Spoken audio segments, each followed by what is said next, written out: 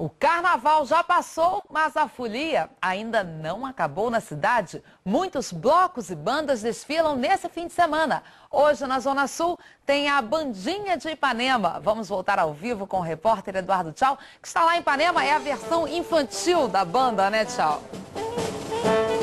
Exatamente, Ana Paula. Aqui, adulto, hoje, na Praça General Osório, só entra acompanhado de criança. Sem criança, não entra. Olha como a banda está animada.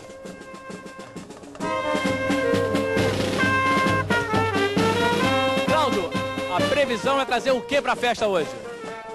Previsão nossa é que a praça fique repleta de crianças, não apenas de Ipanema, mas de toda a cidade. É a festa da criançada, com muito confete, serpentina, muita alegria, que as crianças merecem todo o carinho nosso. É isso que a gente espera.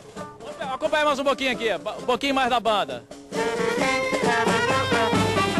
assunto também é carnaval, agora no bate-papo. A porta-bandeira Selminha Sorriso conta ao repórter Ednei Silvestre os segredos da campeã Beija-Flor para ganhar tantos campeonatos. Selminha está há 13 anos na escola de Nilópolis, colecionando vitórias e conquistando público com simpatia e muito talento.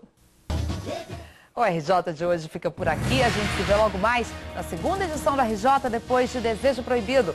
Até lá, boa tarde.